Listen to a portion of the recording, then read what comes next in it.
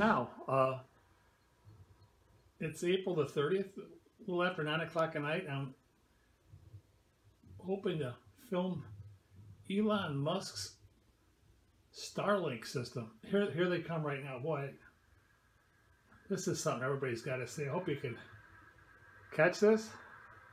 I don't know if it's showing up on the, the video. That's planet Venus below the the string of lights. Looks like a like a string of pearls. Wow, this is cool. That, you know, if you want to see this in the future, there is an app that you can get. It'll tell you the time and location, where to look. Tonight they're coming from the northwest, headed south.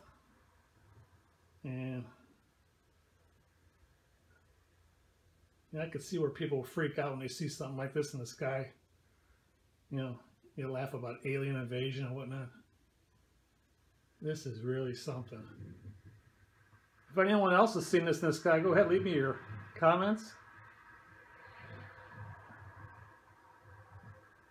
That is wild. Almost done.